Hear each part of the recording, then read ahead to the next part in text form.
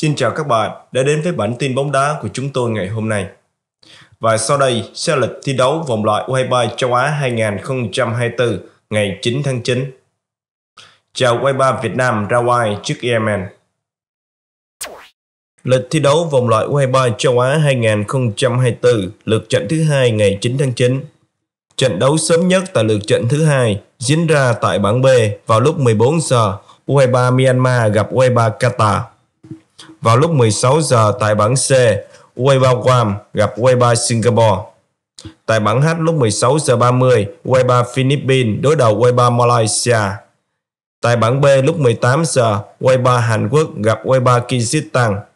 Lúc 18 giờ 35 tại bảng G, U23 Trung Quốc gặp U23 Ấn Độ. Tại bảng K lúc 19 giờ, U23 Indonesia gặp U23 Đài Loan. Lượt trận thứ hai của đội tuyển Việt Nam sẽ diễn ra vào lúc 19 giờ tại bảng C. U23 Việt Nam đối đầu U23 Yemen. Tại bảng E vào lúc 19 giờ, U23 Iran đối đầu U23 Afghanistan.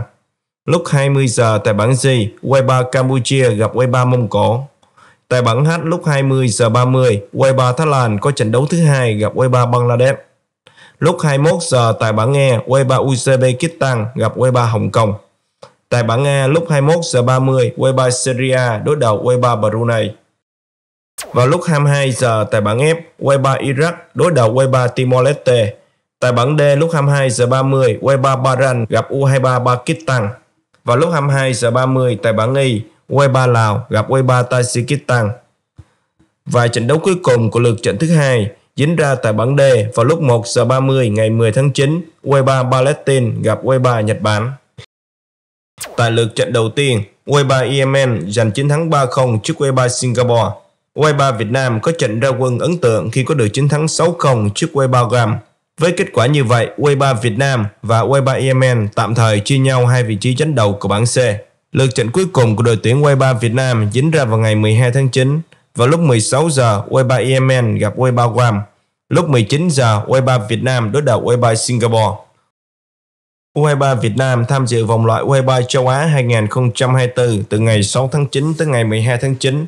Huấn luyện viên Philip Joycer và các học trò nằm ở bảng C cùng với U23 Singapore, U23 Yemen và U23 Guam.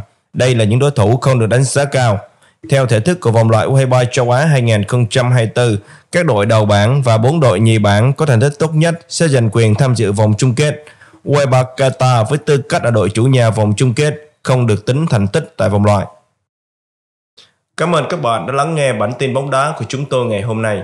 Các bạn hãy đăng ký kênh và rung chuông để nhận được những thông báo mới nhất về lịch thi đấu, kết quả cũng như bảng xếp hạng vòng loại U23 châu Á 2024.